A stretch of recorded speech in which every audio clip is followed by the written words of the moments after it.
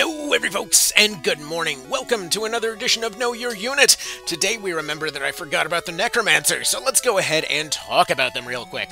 So, like many endgame casters, the uh, the Necromancer is essentially a caster but. Uh, there's always going to be a gimmick to a lot of these uh, later game casters, and that's, well, exactly their guy's deal. Uh, they're, like their name suggests, the undead specialist, uh, meaning that they're going to specialize in supporting them in one way or another. Now, this is also your kind of standard way to get a hold of, uh, of uh, phantom units, so like uh, ghosts and whatnot. Interestingly enough, uh, any kind of standard uh, zombie humanoids can be recruited with Recruit, and also uh, any um, like dragons and things like that can be recruited with their relevant skill, Tame there, and you also have Subdue for any of the beasts or anything like that. Basically, anything that isn't a skeleton or ghost can already be recruited another way, just so you're aware. So you don't need these guys to get a hold of um, of All Undead, but just so you know, uh, they are going to be your main way of getting rid of those weird ones. So, uh, why would you use these guys? Well, a few factors are kind of interesting as far as the Necromancer goes. For one thing, uh, they've got pretty solid access if you are just looking for a standard uh, caster type of situation. Um, while they do have all of the basic spells uh, like something like a wizard would have, they also have access to necromancy and most of the dark tree. Now, dark is, again, nothing particularly unusual, that's something the basic caster can do, but the necromancies have a lot of interesting abilities in there. You have Living Corpse, which allows you to revive a downed unit as a zombie. Um, bear in mind that this does not give them an instant turn, uh, so there is actually I, I oftentimes see a little bit of a misconception as far as uh, folks uh, saying that like there's the end game undead meta. Um, undead are good in two situations. For one thing, when you're really not focusing on speed, and for another thing, when there's nothing with exorcism. Otherwise, they have a lot of potential downtime during fights, including, you know, when you bring them back up. Uh, essentially, Living Corpse is one of the one of the very few revives that still works uh, like it did back in PSP. But anyways, so this allows you to bring a unit back as an, as an undead. There's a lot of unit types that benefit from this. Uh, so, for example, if you're bringing back an octopus, they've got a lot of meat on them tentacles, and uh, you know, oftentimes will benefit uh, from going and uh, just kind of slinking their way off to the back line, getting themselves knocked out, and as long as you're pressuring any uh, exorcism units on the team or making sure that they don't exist, essentially they can just come back and do all of their uh, crazy poison and breaching and whatever else moves with relative impunity. So there's a lot of units that can be that can benefit a lot from being a living corpse. essentially, all it means is that instead of bleeding out at the end of their timer, they just come back to life at half health. Alright, next is going to be Banish. Effectively Exorcism, but, uh, you know, you don't have to be an exorcist uh, of any kind to use it. Uh, very useful, has some pretty darn solid range. Um, then you have Curse. So Curse is funny. So you have three different flavors of Curse. Uh, all of them will just inflict Curse uh, in a different area of effect here. So Curse is one of those unusual status effects that almost nothing gets a hold of in this game. Um, it's it used to be it used to be somewhat more common back in PSP, although the odds of it hitting were so darn low in that case uh, that realistically you almost never saw it. In this case, uh, actually, I think most folks uh, saw Curse uh, during the time that uh, One Vision had it as uh, one of the effects for one of the finishers early on. Um, Anyway, at this point, uh, what Curse does is it reduces uh, maximum health and maximum MP, but on top of that has the interesting effect of uh, not only blocking crit or sorry, uh, not only uh, blocking counterattacks, but also blocking criticals. Uh, it's a very unusual um, debuff here, and actually one of the more potentially overpowered ones if you if you know you're running into the, the later game there, like a lot of those later game beast units with their massive stat advantages, which they you know benefit extra from because beast unit. Um, if they, for example, pick up several crit cards, uh, suddenly those uh, stone circles they're dropping could be terrifying. Um, well, I guess Stone Breath too. Stone Circle just works better. Anyway, so uh, they could be they could be uh, you know absolutely terrifying, or you could just go hit them with your Necromancer, and suddenly, what do you know? Problem solved. Uh, they are no longer an issue because they can't crit anymore. Anyway, very, uh, very good ability. If you if you've been sleeping on Curse, don't sleep on Curse. You, can't sleep while cursed. Uh, anyway, um, let's go ahead and mention one thing here. Uh, actually, before we continue on with the skills. Um, as always, apologize for the ums and ahs. Still trying to get get out of that COVID brain fog. It sucks. Anyway, uh, so whenever you recruit Necromancers, more often than not, they'll have unusually high mind scores. Now, most of their casting equipment will obviously boost all of their stats, in particular intelligence, so usually that'll end up winning as far as the stat war goes. But if you recruit Necromancers out in the field, which personally I would recommend always recruiting Necromancers out in the field rather than going and trying to make your own, just because of those unusually high bonuses that they're uh, getting for you know intelligence and mind and all that because again when you're recruiting them they just kind of assume that since level 1 they've been that class. So they're they're they've already put their whole career into being that thing uh, but this effectively means that uh, due to uh, having those big bumps, more often than not, that for most situations, they're actually able to get away with uh, using a lot of the uh, debuff spells without actually needing to go use concentration. Now, if you want to basically guarantee them, yeah, absolutely go for concentration. But just so you know, you don't actually need it on them as much as many other casters because they're focused less on damage and more so on those debuffs, despite the fact that, you know, their intelligence is still winning here. So, just kind of interesting, unique property of the class there. Okay, uh, so let's go ahead and continue on here. Uh, go back uh, over those necromancies real quick here. Uh, so next we've got Life Force. Uh, they're one of only a few classes that are able to use it, namely only well, these two for generics, and then I believe there's a couple other ones that uh, that are uniques that can use it. But realistically speaking, it's these two uh, that have uh, access to Life Force. One of the best spells in the game. Essentially, this means that you are firing out a basic missile attack and more or less uh, refueling yourself for several rounds after. So, Life Force uh, will, you know, benefit from many other uh, from many other bonuses, but unlike something like uh, your uh, your Drain Mind, uh, it's going and hitting the uh, the health bar, which is going to have way bigger numbers, and that's the number that's converted to MP. So, if you already picked up a crit card, Magi card, anything like that, you can potentially see yourself getting, you know, 200, 400, 500, whatever, depending on how much it crits, MP back. So, effectively, this is a move that allows you to both attack and refill your entire MP bar easily one of the top spells in the game. Alright, uh, next we got Putrefy. This is going to heal undead as well as uh, damage any living units. Situationally useful. It's like one of those why not, might as well kind of spells. Um, and then Styx Shift, which I feel is a little bit slept on. I, so, wait a minute, do I not have the bird spell? Oh, that's such an absolute fail on my part. Okay, apparently I forgot to save when I got the bird spell. Dang it. Anyway, Okay, so there's two movement spells that Necromancers get access to. Uh, there's Stick Shift, uh, which is going to have the single highest range in the game uh, at a standard range of 8, which can engulf up to 11, and then Staff up to 16 range. Uh, this allows you to move uh, incapacitated units uh, pretty much anywhere in the field, right? Um, I say anywhere because like 16 tiles is just a crazy long range. It's out of camera range in some cases.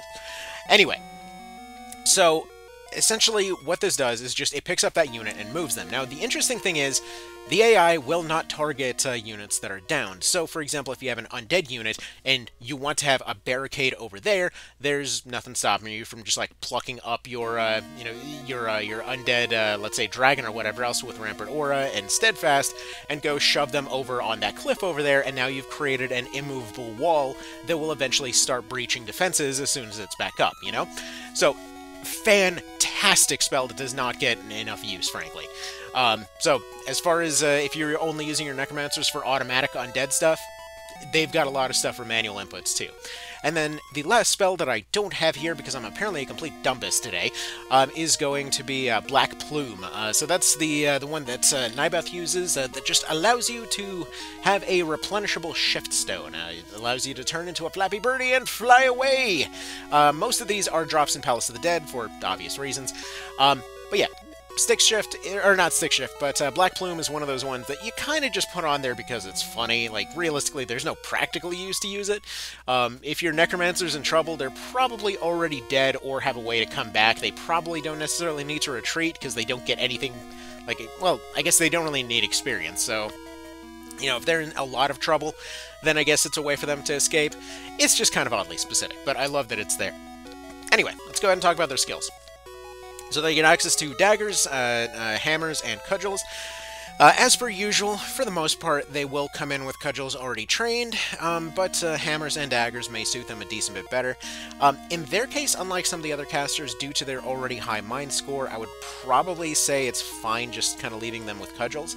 Um, it really doesn't uh, doesn't really make a huge difference in their case. They hopefully will not ever be getting close anyway. Uh, defensively, daggers with their ability to uh, stop on hit could probably be the more useful one. Uh, hammers, they're so physically frail, especially if you're hiring them out in the field there.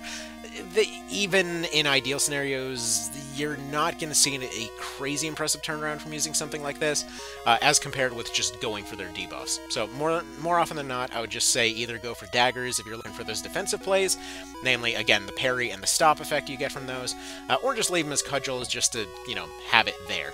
Um, in many cases, I would actually recommend just switching out their weapon skill entirely for concentration, because again, we don't really want them to be using those. They would improve the damage of stuff like your meteor strikes and your life forces, but again, their debuffs are just going to be a lot scarier. Okay, so, uh, let's go ahead and talk about the rest of their skills then. So, Master Undead allows you to get skeletons and ghosts. Neat. Uh, Animate Dead allows them to uh, use 50 MP on an action move to go raise a unit up from the dead. Well, the undead, rather. Uh, so this will get them back up at full health. This is a very strong ability, nice solid 7 range uh, on this one. Um, and again, it gets them back at full health, so this means that you can just bring them up and have them continue on about their day. Um, so this is especially useful on uh, on any of your beast units. Like I personally love running uh, uh, heavy beast units as far as the necromancer is concerned, uh, just because of how much uh, health you get out of it. Like if you're, let's say, bringing back something like a zombie gremlin, like that's a that's a small health bar, you know, or a, you know a standard skeleton fighter or something. That's okay, but then you look at these guys and they're you know they've got their 2,000 health here. That's gotta be pretty noticeable, you know. In their case, if we go ahead and even uh, switch out the uh, the dash uh, for, let's say, something like Constitution, you know, that's 2,700 health. That is a lot of health to suddenly have back on the field. So these are these guys are a great way to shift momentum. Um, and I'd say Animate Dead is probably one of the biggest momentum shifters uh, uh, that there that there is action move wise. Um, uh, especially if there's no uh, well it's it's both a safety move if there are exorcism units and it's a great offensive tool to suddenly get all of your meat back uh, if uh, you know if you are having a bit of a harder time.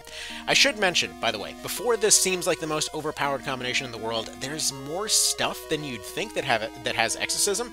Like i remember a lot of us were thinking after looking over palace of the dead for the first time like oh there's like two clerics in there that have exorcism man, this seems pretty darn good. And then you forget things like uh, uh, like the units that will use the higher end uh, divine spells, uh, or for example, the many, many pumpkins that are down there with Crystal Pumpkin.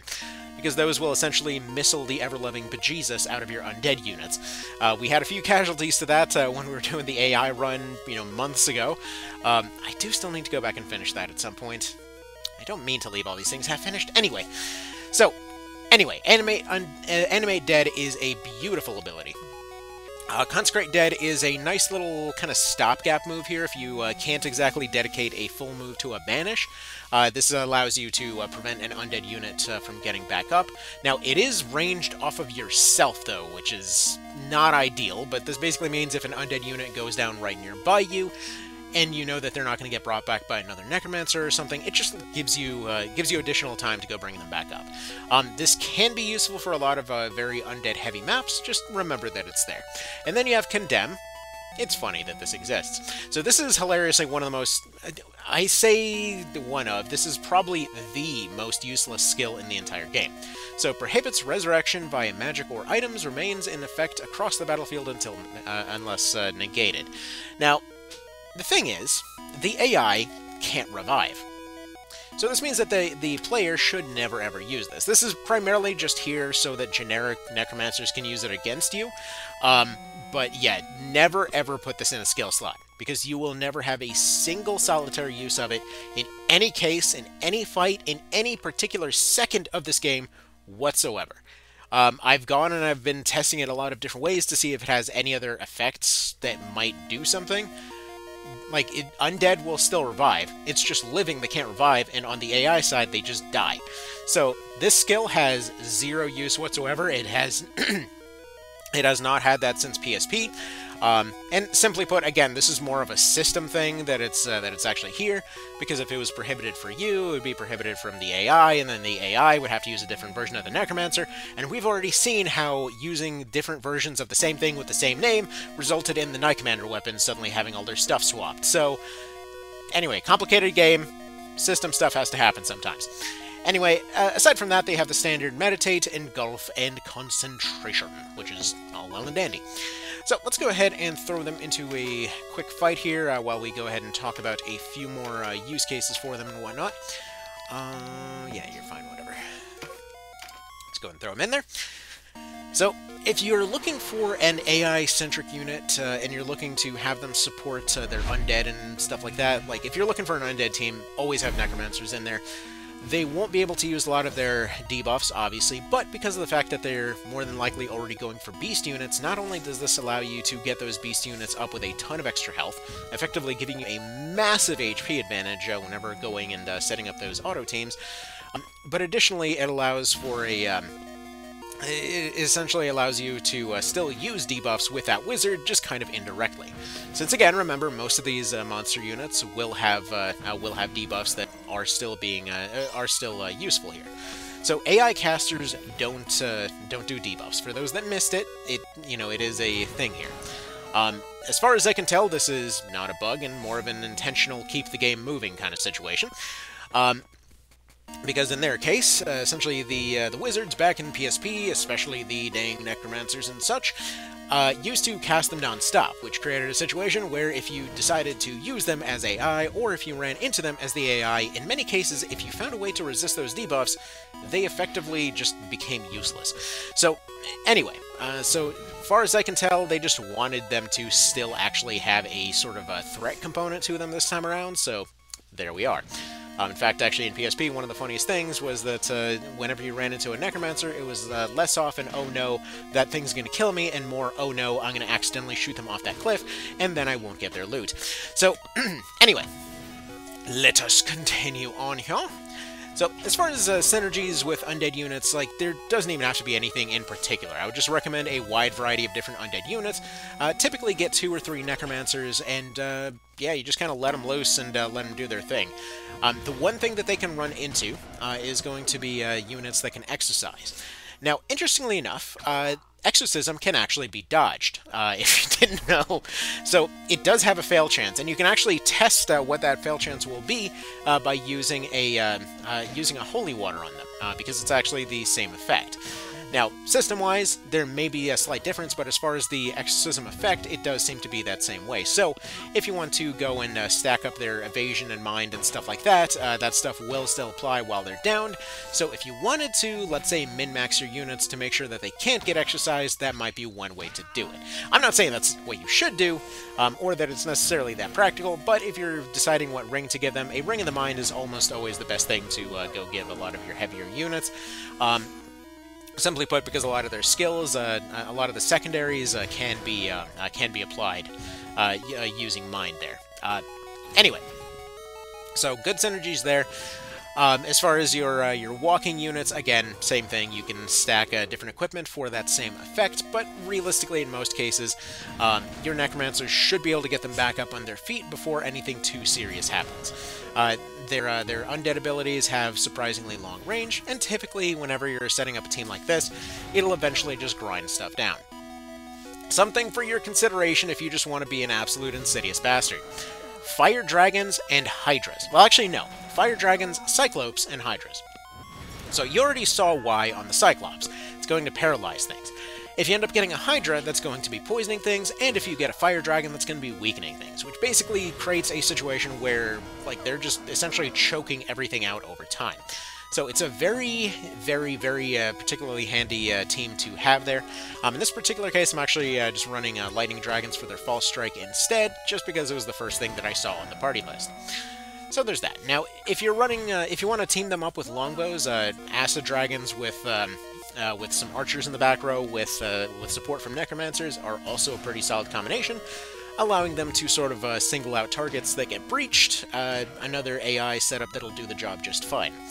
Um, additionally, actually, if you want to spread around, spread around a lot of damage and maybe even get more tricky with it, um, if you can actually make use of uh, uh, make use of Charm using this particular machine as well. It's like, let's say you have the Necromancers, you got your uh, Lightning Dragons, you got your Breach Dragons. Those Breach Dragons drop their Breach, you give your Archer some Cupid Bows. Those Cupid Bows uh, will aim for the targets with Breach Defense, those end up getting charmed, and once they're charmed, the AI knows not to attack them again.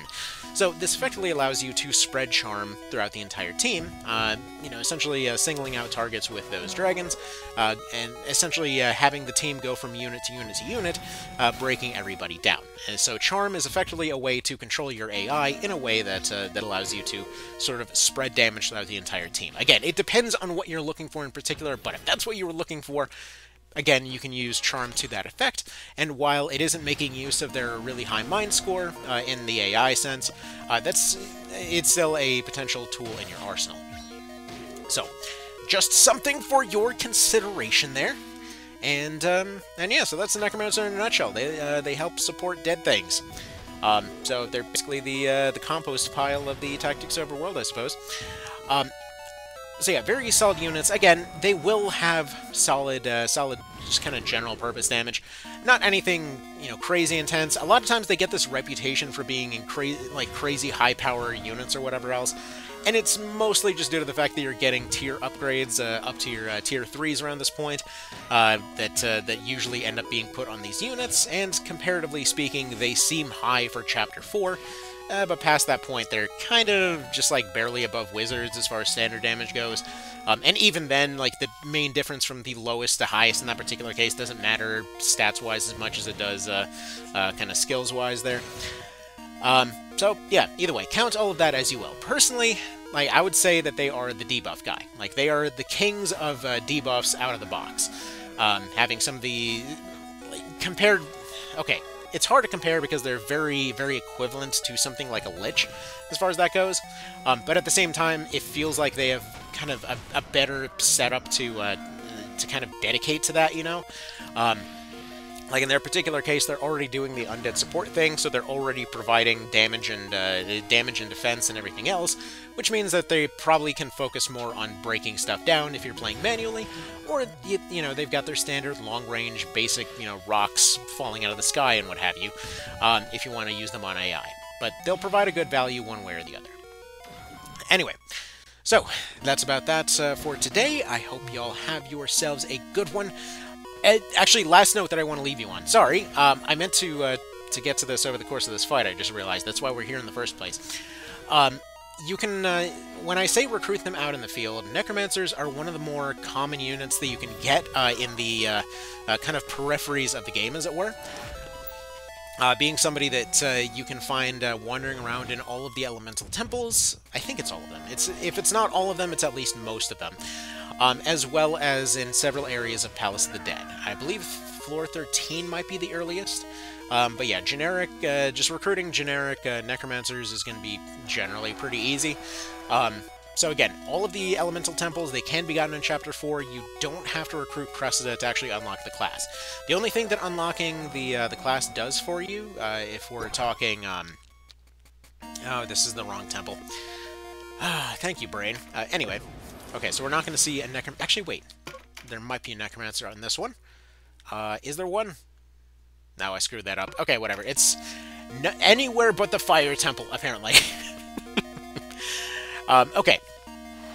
So, uh, so yeah, the only thing that you recruit uh, Cressida for is uh, to get, like, in a system sense anyway, aside from having a unique character, uh, and to get her ending is to uh, is to get access to the Necromancer for Denam so that he can go and merge it into the Lord. Just kind of add it to the collective class hive mind that he's got going on. Um, Alright, so that's kind of about that. Y'all have yourselves a good one. Thank you for stopping by, and I will see you later. Bye.